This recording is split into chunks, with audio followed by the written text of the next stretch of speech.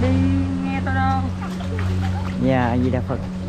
Dạ chúng con à, kính thưa chư Phật, chư Bồ Tát, chư Thiên Long, Thiện Thần, Hộ Pháp, tận hư không, biến khắp các pháp giới và tất cả hữu duyên chúng sinh A Di Đà Phật.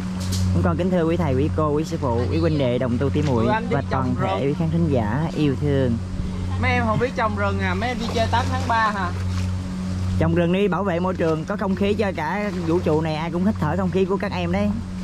Đây là những cây nước chứa trữ lượng khí oxy gấp 5 lần các loại cây bình thường. Cây nước đang chết bởi vì rác thải nhựa. Hiểu chưa? Đi học thầy cô có dạy mấy em bảo vệ môi trường không? Chống biến đổi khí hậu không?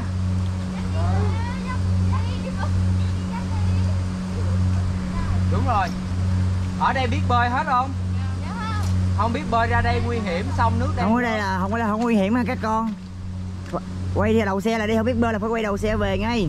đúng rồi ra Về nhà đi học bơi rồi. nhanh lên. ở đây chỗ còn chỗ trồng cây à. Rồi mình phải tự cứu mình đi, không có ra chỗ này rất là nguy hiểm không? đúng rồi Sẽ bị đuối nước nha các con. ừ. Không có giỡn được, sông nước rất là nguy hiểm. Không biết bơi là phải bao lập tức đóng một khóa đi học bơi. trong này nè có cái đường kìa chơi ngay ngồi ngay chỗ sông cầu đó đó đó Dắt đi con, hai đứa con thi nhau dắt đi. Bỏ đầu lên hai đứa quay đầu xe lại. đây để. Rồi, thầy Tuân à, hỗ trợ cho các bạn. Cảm ơn thầy Tuân rất nhiều.